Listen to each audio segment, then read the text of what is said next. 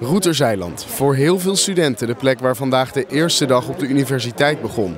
Maar ook heel Medialand stond te wachten. Nou, we komen de prinses natuurlijk vastleggen, want dit is haar eerste schooldag. Dus dat moeten we even vastleggen. Dat is echt historisch materiaal. Weet je, normaal waren haar ouders, haar zusjes erbij. Maar nu is het de eerste keer dat zij hier is, hè? dus dat is ook best wel een ding. We kennen de beelden van Beatrix, dat ze voor het eerst naar school ging. Of dat ze daar liep in Leiden. En ook Willem-Alexander. Dus iets wat we nog jaren en jaren gaan terugzien. Een uur van tevoren staan de eerste camera's al klaar. Prinses Amalia's eerste college begint namelijk om 5 uur stip. En wat hoop je dan? Nou ja, gewoon lekker uh, groots, meeslepend. Dat, dat willen we toch zien? Het was even wachten, want dit is er niet. Nee, ook niet.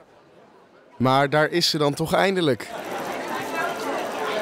Toen zag je zo dat jasje zo om de hoek komen. Het stond ze een beetje ongemakkelijk. I would hate it. Yeah, me too. I would hate it. It's too much attention. Like, she can't be a normal student. Fijn dat zij ook kan studeren. Ja, het is gewoon net zoals wij ook een persoon. Ja, ze liever had dat er niemand was. En dat ze gewoon normaal, als een normale student kon rondlopen. Is er dan nog een afweging of we dat wel moeten doen? Haar privacy, het is ook gewoon haar eerste collegedag. Er ging eens een meisje naar de universiteit.